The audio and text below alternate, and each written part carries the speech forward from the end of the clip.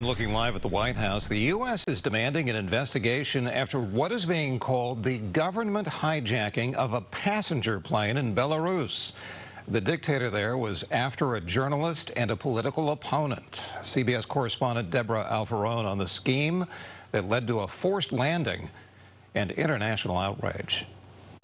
Brian, a video has now surfaced showing that detained journalist Roman Protasevich, and he is confessing to organizing mass riots, and he also says he's in good health. Secretary of State Antony Blinken is demanding for him to be released, and this whole thing seems like it's out of a movie, but it's real.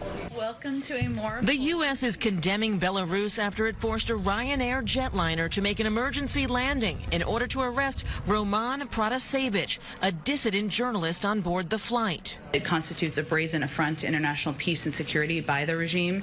We demand an immediate, international, transparent, and credi credi credible investigation of this incident. Belarus released a new video showing Protasevich in custody, allegedly confessing to the crime crime of organizing mass riots against President Alexander Lukashenko. The Ryanair flight took off from Athens bound for Lithuania, but was diverted just two minutes before it entered Lithuanian airspace.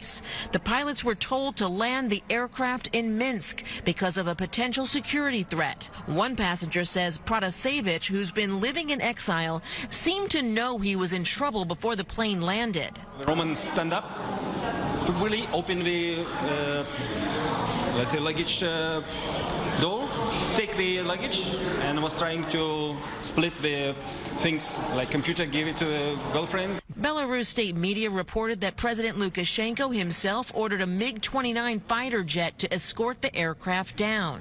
The U.S. stopped recognizing Alexander Lukashenko as Belarus's legitimate president after the 2020 election, which many observers say was blatantly rigged. But while the U.S. and other Western powers say Lukashenko's authority is not legitimate, he does have a very powerful ally in Russian President Vladimir Putin. The president of Ukraine is banning flights from Belarus, and Lufthansa, which is the second largest carrier in Europe, is confirming to CBS News that they also have suspended operations over Belarus airspace. In Washington, Debra Alfarone, KPIX 5.